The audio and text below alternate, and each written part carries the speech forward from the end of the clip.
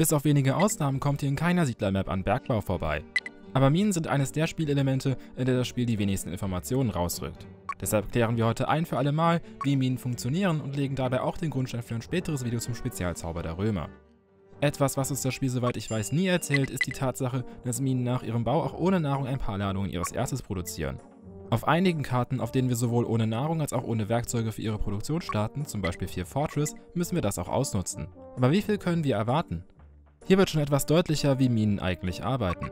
Minenarbeiter versuchen in regelmäßigen Abständen ihr Produkt zu fördern. Ihre Erfolgschancen hängen davon ab, wie viel Erz es unter ihnen eigentlich gibt, was leider bedeutet, dass Minen im Laufe der Zeit an Produktivität einbüßen. Wie viele Versuche Minenarbeiter unternehmen, hängt von ihrer Nahrung ab. Laut Handbuch sind es zwei Versuche für normale Nahrung und zehn Versuche, wenn die Arbeiter ihre jeweilige Lieblingsnahrung bekommen. Wenn ihr also Zugang zu Fisch habt, ist es Verschwendung, eure Goldminen mit Fleisch zu beliefern. Auf der nächsten Testmap habe ich 12 Ekosektoren mit je einer Kohlemine, unter der sich unterschiedliche Rohstoffmengen sowie 144 Einheiten jeder Nahrung befinden. Die erste Spalte hat von oben nach unten je ein einziges Feld mit Kohle. Einmal mit dem geringsten Wert, den der Editor zulässt, einmal mit dem höchsten und einmal mit ca. 50%. In der zweiten und dritten Spalte wiederholt sich dies mit zwei und drei Feldern Kohle und in der vierten Spalte ist das gesamte Gebirge mit Kohlevorkommen bedeckt. Wir werden nun ermitteln, wie viel Kohle jede Mine gefördert hat, nachdem sie eines der vorgegebenen Nahrungsmittel vollständig verbraucht hat. Wie erwartet war die Produktivität mit Brot um ein Vielfaches höher, zumindest solange sich noch Erz im Boden befand. Aber das ist bei weitem nicht das Interessanteste. Zum einen sind Minen nie offiziell erschöpft, das heißt sie verbrauchen auch dann weiterhin Nahrung, wenn keine realistische Chance mehr besteht, dass sie noch etwas fördern.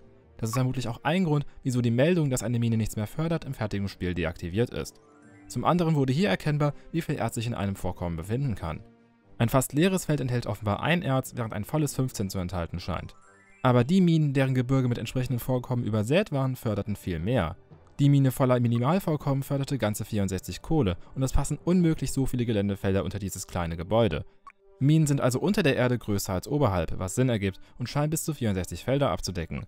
Ob es sich hierbei um ein Quadrat oder einen Kreis handelt, kann ich nicht mit Sicherheit sagen und der Unterschied wäre zu klein, als dass es die nötigen Tests wert wäre.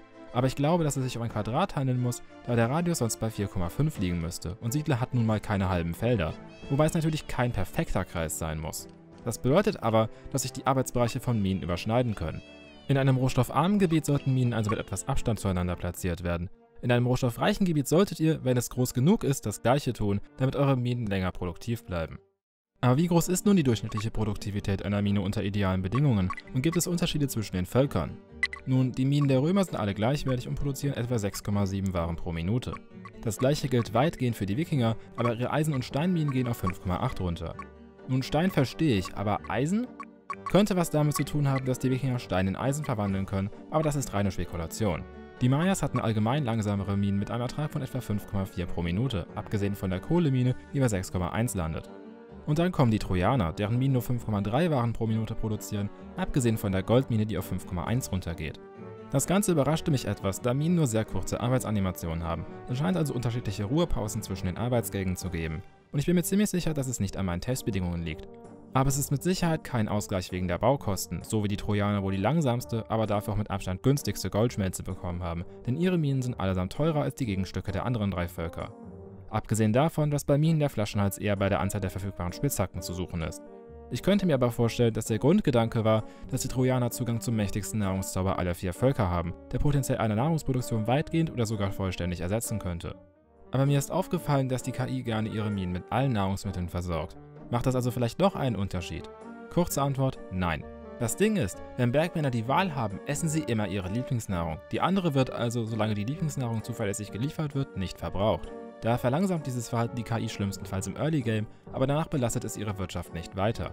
Ich vermute, es ist eine Notlösung, um zu verhindern, dass die KI völlig machtlos wird, wenn sie bestimmte Nahrungsmittel nicht produzieren kann. Natürlich sind die Minen nur eine Hälfte der Schwerindustrie, aber die andere verdient ein eigenes Video. Das gleiche gilt für den Zauber Rohstoffe auffrischen, von dem ich im Moment glaube, dass er sehr schwer zu testen sein wird.